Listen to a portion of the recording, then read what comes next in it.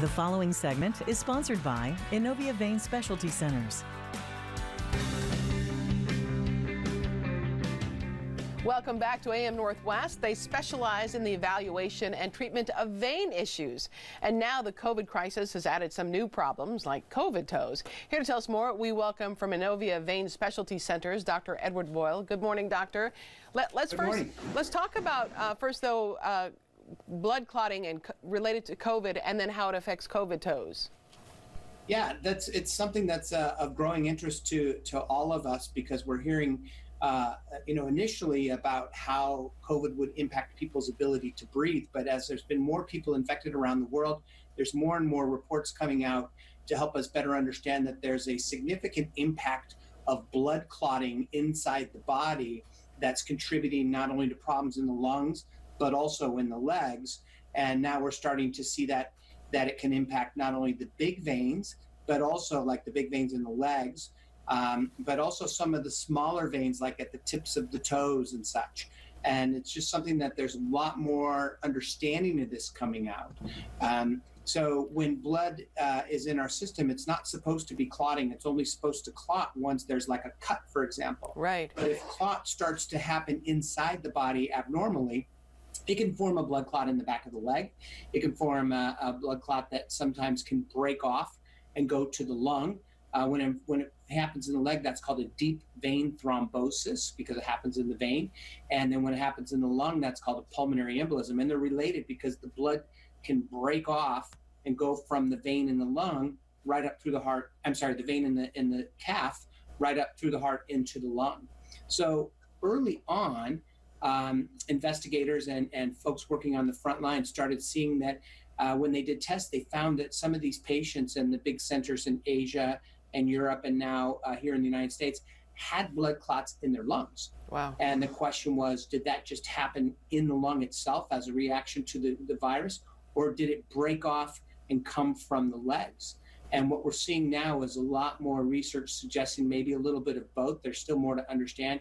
But about one out of three patients hospitalized for uh, COVID have blood clots in their legs. Wow. Um, so that's that's a, a, significant concern that there's a lot of investigation going around, not only how to diagnose that, but treat it. You also treat you treat varicose veins, which are unsightly for a lot of people that bothers them and then it's painful. So tell me about what you do for them what you're able to do for them. Well we have a specialized vein clinic with uh, three offices in portland and one in bend.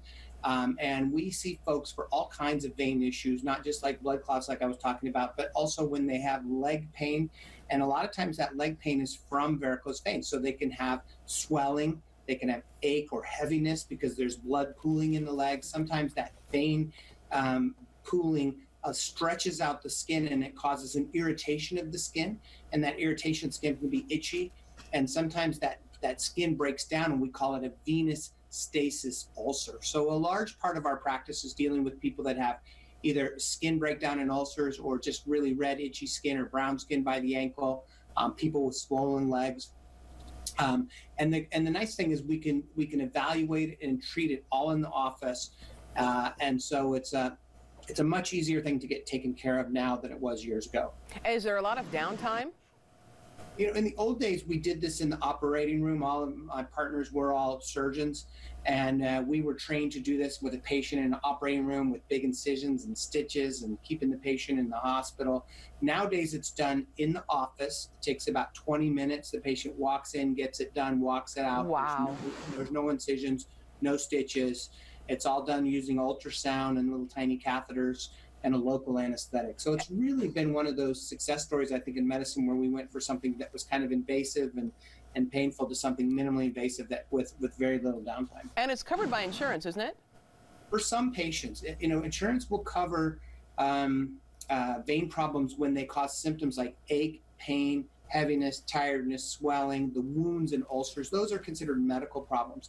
There are some people that come to us and they just have veins that they don't like the way that it looks and they um, want to get it treated, but they don't have those symptoms. In that case, it's not generally covered by insurance, but then they can pay for that uh, um, from a cosmetic perspective. Yeah. But majority of our practice are folks that come in with uh, um, other symptoms. Right. Dr. Boyle, thank you so much. We want to tell folks if you'd like to find out more, contact Inovia Vein Specialty Centers, four locations, Northwest Portland, Tigard, Happy Valley, and Bend. The number will be on the screen. Also, we'll put it on our website at katu.com. Thank you so much. Appreciate it. Thank you. We'll be right back with more AM Northwest. Don't go away.